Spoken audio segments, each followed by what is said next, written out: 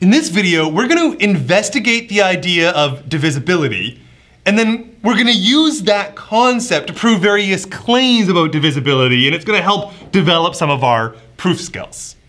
So first of all, let's just sort of get an intuitive idea of what's going on with divisibility. Uh, let me take a number with lots of factors to it. How about the number 12?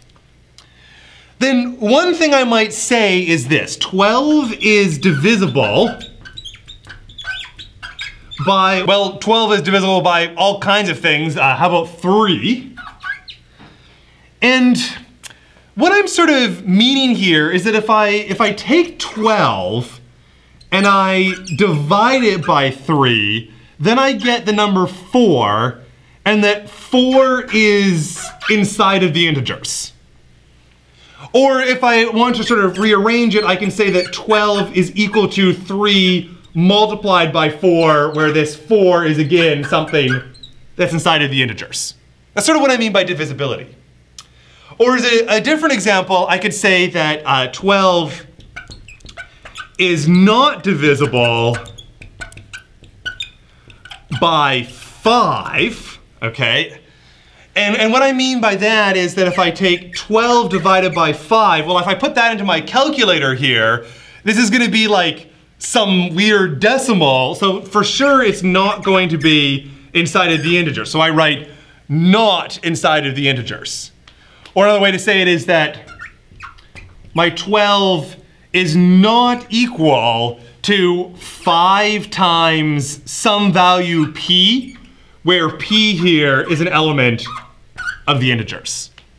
Okay, so that's sort of my in, informal sense of divisibility. You, you have a number and you divide it out by something, and then when you divide that out by something, it's, it's either going to be an integer or it's not, and that tells you whether it's divisible or whether it's not. I actually really like the bottom way of writing it. I like saying that 12 is divisible by 3 means I can write 12 as 3 times 4. Now, let's try to be a bit more precise about this. Because we're dealing with attempts to make all of our concepts that, that even if we've seen them for many years, we, we want to make them as precise as possible. Note that there is an existential claim here. When I say 12 is divisible by 3, what I mean is that there exists an integer 4 there exists an integer 4 that has this property that 12 is equal to 3 times 4. Or alternatively, 12 divided by 3 is equal to 4. So I'm, I'm really claiming an existential. There exists this other integer that has this particular property. So my formal definition is I've got a pair of numbers like 12 and 3, as long as that second one was not zero, I had to sort of put that in my condition. I, am beginning with integers, we're not talking about rationals, and that the divisor here is, is not zero, then I'm going to mean this claim, which is n is divisible by d, if I can find some other number. It's like the four I found before. If I can find some other number that is an integer and has the property that your n can be written as the divisor times that new integer. And note carefully that this, this little bit of notation, that's really what I'm defining. This says D divides N. And in fact, there's a whole bunch of different ways that we can say this in English. Uh, the D divides N is the way that I like, or you can do N is divisible by D, or N is a multiple of D, or D is a factor of N, or D is a divisor of N. There's a whole bunch of different possible ways that you might be familiar with it. But what I want you to be really clear about is that the order of the D and the N really matters, and depending on which way you phrase it, uh, you might have different orders. So when I use this symbol, which is my shorthand, I read it as D divides N, and I mean it something along the lines of 3 divides 12. So the, the big one is your N and goes on the right, and the small one is your D and goes on the left. That's what I mean when 3 divides N. But the way I just phrased it before was it was the big one came first. The 12 is divisible by d, or the 12 is a, a multiple of 3. Or I can flip it back around again and say that my 3 is a factor of the 12. There's all these different ways to say it and the order matters. So just try to keep those clear in your head.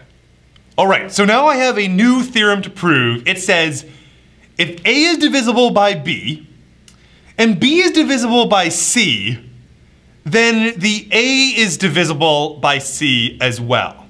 Something like that. And if you want to, you could formally rewrite this using our, our notation. I'll say, this is saying that my B divides A, my C divides B, and so forth, my C divides A. But I, I don't know, I kind of actually personally like it written in a slightly longer form. I, I don't mind whether you use the shorthand or not. And then we know that at any point if we need to, we can bring out that formal definition that we were just talking about, about what does it mean to say that one thing is divisible by another. And if I'm gonna sort of think about how this is working, uh, okay, I know that four is a divisor, or four divides that number 12. And then I also know that two divides the number four, and indeed it's for sure the case that two divides the number 12. So I've only just done one example here, but I just want to illustrate that yes, my intuition is indeed matched for this example. All right, so let's go and try to write out our proof.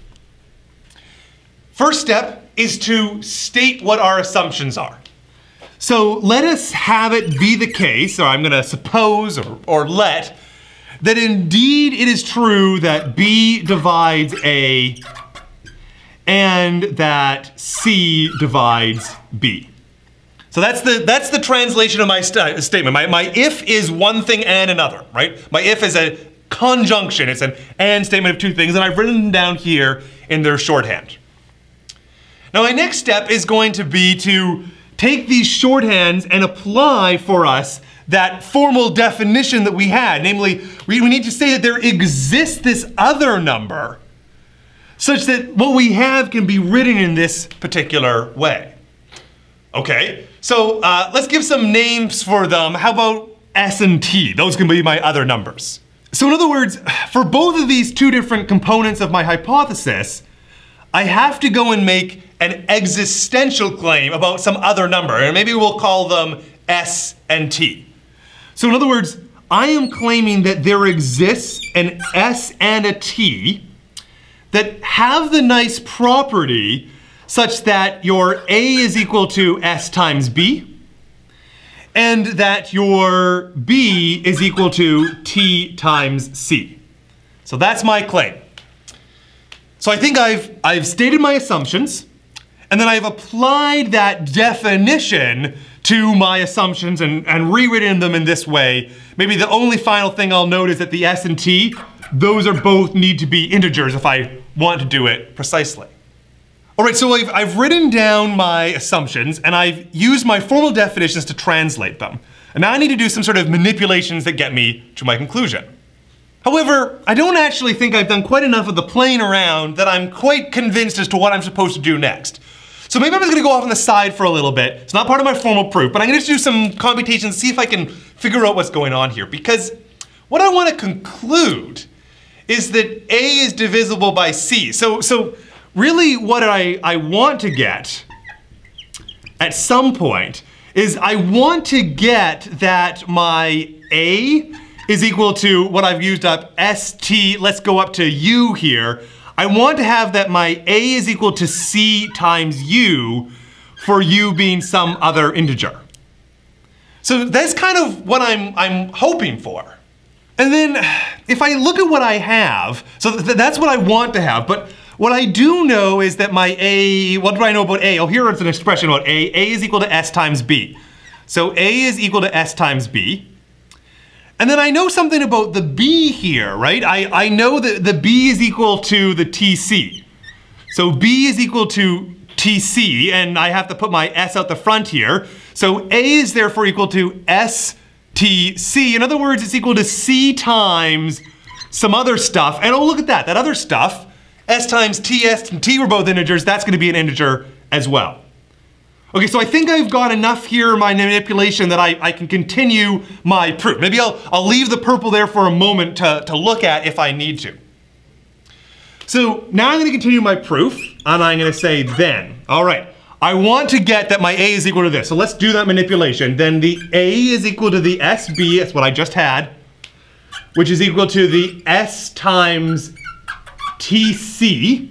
That was me substituting it in right there. which is the same thing as saying C times ST. I've just rearranged the order. These are numbers. I'm allowed to do that rearranging of order. In other words, what I've claimed is that A is equal to C times ST, where the ST is for sure inside of the integers. It is something, it's labeled as ST, but it's an integer because both an ST individually were, and the product of two integers is, again, an integer. So what can I claim? Therefore, my final conclusion is that C does indeed divide A, and that was what I wanted to get over here. A is divisible by C, C divides A means the same thing. And then I got rid of my scrap work that I had up here that was for me, it was part of my computation, it wasn't part of my proof. I've reproduced it in the right way down here in my proof, and I have this really nice fact that you can chain up divisibility in this way. And this theorem is sometimes referred to as transitivity of divisibility.